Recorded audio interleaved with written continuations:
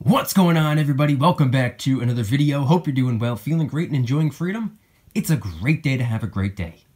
Today we're going to be talking about both silver and gold quite a bit, but we also have to talk a little bit about stocks and why I believe the Federal Reserve is crashing the market.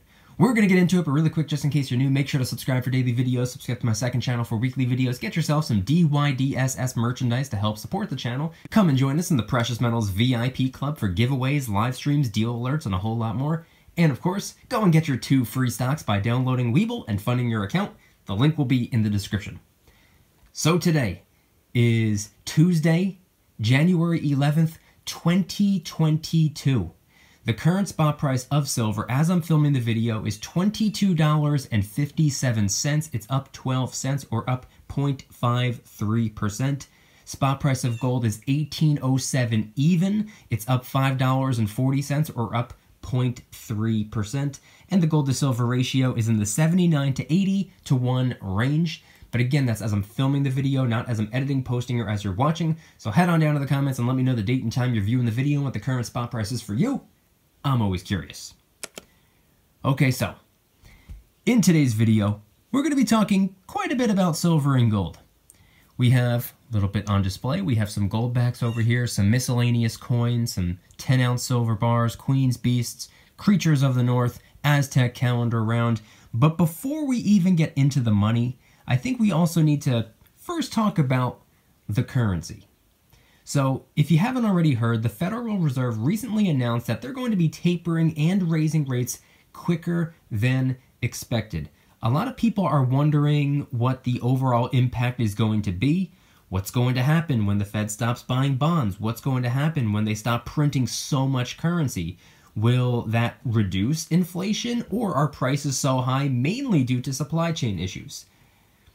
I guess we'll find out because it's obviously too early to make any conclusive statements about that, but the market was very quick to react. For the last week, week and a half, we've been seeing almost nothing but red, and today is no exception.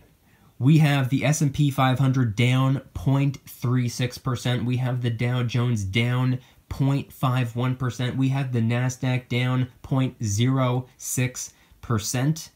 And considering that the tech sector has been carrying the weight of the entire market for the last 18 to 24 months, I like to pay close attention to what some of the biggest tech companies are doing and how they're performing.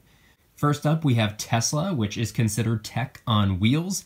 It's down 0.18% today. Then we have Apple, down 0.33% today. But then we have Amazon, which is actually doing pretty well today.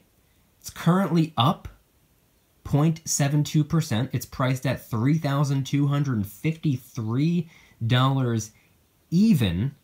Now, personally, I believe we're currently going through a period rotating out of tech stocks and into value stocks. Again, it's too early to make any conclusive statements, only time will tell, but that's what I believe we're going to be seeing in the near future. But I do have a feeling that Amazon will be somewhat of an exception to that.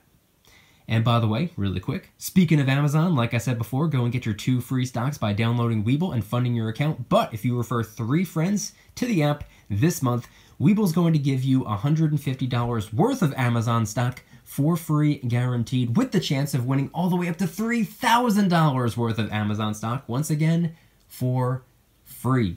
All you have to do is click the little invite button. There's one right there within the app. Just click it, send it to three friends. It's quite literally that Simple. Go get your free stocks. Go get your free fractional share of Amazon. Webull link in the description. But now, moving away from all of that, moving away from the currency, moving away from the stocks, moving away from the Federal Reserve, let's talk about money. So on display right here, like I said before, I have a pretty decent selection. When it comes to gold, I have some Goldbacks. I have some gold coins over here. We have some silver round, silver bar, silver coins on display. And like I had mentioned earlier in the video, precious metals doing pretty good today. Stock market's down, Tech stocks are surprisingly down for the most part. Silver and gold are both up. Silver's up 0.53%, gold is up 0.3%. Precious metals are having a pretty okay day. Now, as I've been saying in previous videos, for the last week, week and a half, as the stock market has been suffering, the precious metals haven't really been doing a whole lot. When they're green, they're not too green. When they're red, they're not too red. They've kind of been moving sideways a little bit for the last week, week and a half, maybe even two weeks at this point. And I consider that to be a good thing because while everything else is bleeding out, the silver and gold are pretty much standing strong and holding their own. And I think that's what a lot of people like to see, especially when it comes to where they are parking their dollars or where they are storing their value. And that goes for anything, by the way, whether it be land, whether it be rental properties, whether it be stocks, whether it be precious metals. Whatever people choose to use as a tool of wealth preservation, when everything else is bleeding out, when everything else is suffering, when everything else is deep in the red, if what they chose is trading sideways for the time being, I think at the very least that's what people are looking for. It doesn't have to skyrocket during bad times, but if it can hold its own, I think that's what a lot of people are looking for. And that kind of signals to me that there are a lot of people out there that maybe with the stock market falling down and people selling off some of their positions, they're still holding on to their silver and their gold. That's just what this tells me. I don't know exactly what's happening, but that's what I believe this is an indication of.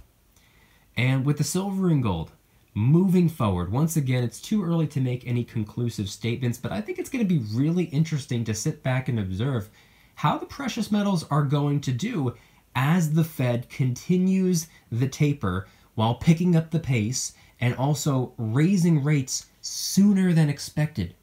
I think it's going to be very interesting to see how silver and gold react to that process. I want you guys to head on down to the comments and let me know anything and everything related to today's video topic. What are your thoughts on everything going on? Do you believe the Federal Reserve is essentially crashing the market right now?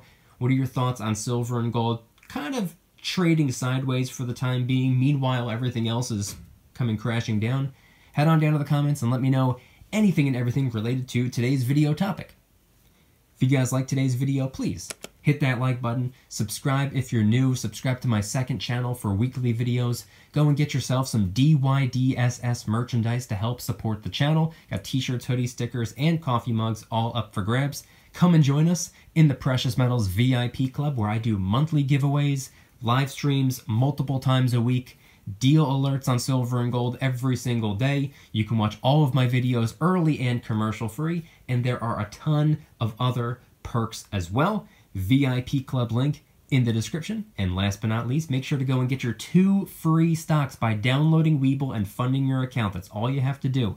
And then, if you tell three friends about Webull this month, Webull will give you $150 worth of Amazon stock guaranteed for free with the chance of winning all the way up to $3,000 worth of Amazon stock for free. Just click the little invite button. They have it right there for you. Send it to three friends. It's that simple. Go get your free stocks. Go get your fractional share of Amazon. Go get your money. Webull link in the description.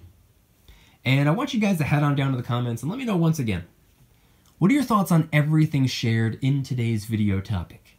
With the Federal Reserve doing what the Federal Reserve does, do you think that this is causing the market to crash? Do you think that this is causing all of the red that we have been seeing over the last week, week and a half, especially?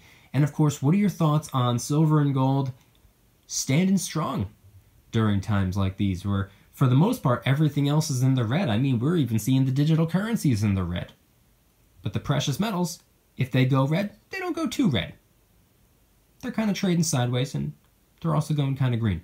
Head on down to the comments and let me know anything and everything related to today's video topic. Thank you guys so much for watching. See you tomorrow. Don't you dare stop smiling. Peace.